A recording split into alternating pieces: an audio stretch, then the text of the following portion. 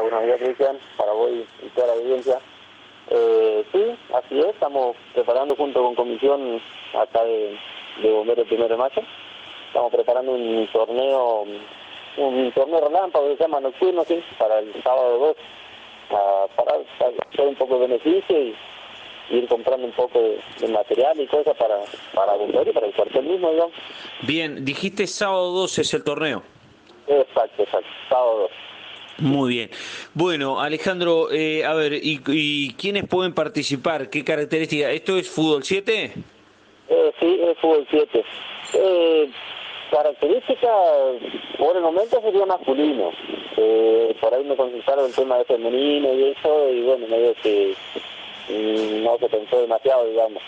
Lo que sí le estoy comentando es que se junta una cierta cantidad de equipos, que será bien de por ahí se puede organizar para dentro de 15 o 20 días, pero uno femenino también, como para no dejarlas afuera también, a las, chicas, digamos.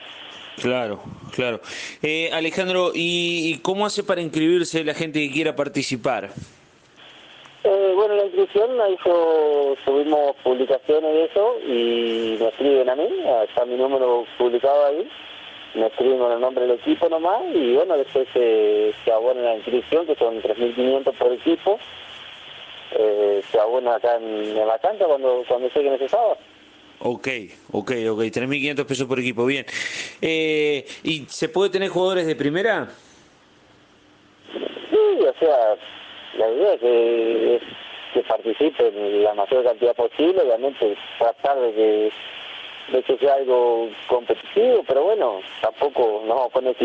Esta vez por lo menos vamos, vamos a dejar que participen todos, después veremos si, hay algún equipo muy superior, se pondrá algún algún requisito. Está bien, está bien, está bien. Bueno, Alejandro, ¿sí que esto es el sábado, ¿esto se hace en la cancha que está ahí al lado de la escuela o en dónde es?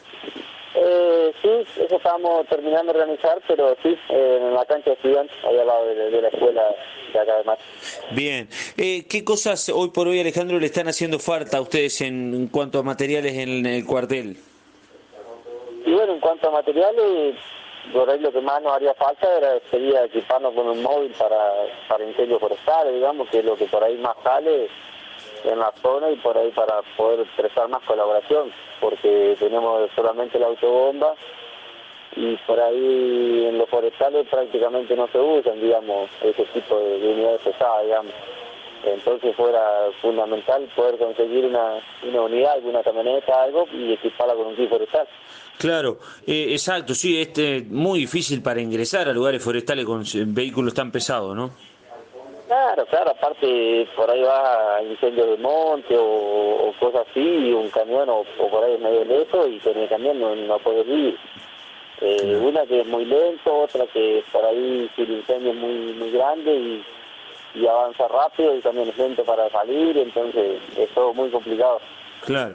Eh, Alejandro, bueno, eh, ¿hasta cuándo hay tiempo para inscribirse? No, el tiempo no, no hay límite hasta ese mismo día, el último van llegando, mientras mientras haya tiempo de que no haya jugado la primera ronda, digamos, no habría problema. Bien, bien, bien, bien, perfecto.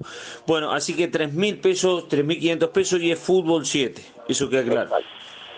Y bueno, tiene premio los tres primeros, el primero son 15 kilos de carne y 10 litros de vino, el segundo son 10 kilos de carne y 7 litros de vino y el tercero son 5 kilos de carne y 5 litros de vino. Bien, eh, ¿el arbitraje estará a cargo de los yaqué? Eh, no, no, eh, los llamamos estos días y nos dijeron que ya tienen comprometido los fines de semana con la Liga de las Colonias y de no querido. Claro. Eh, así que tengo entendido que van a arbitrar lo que están arbitrando la Liga Rural acá de Colón.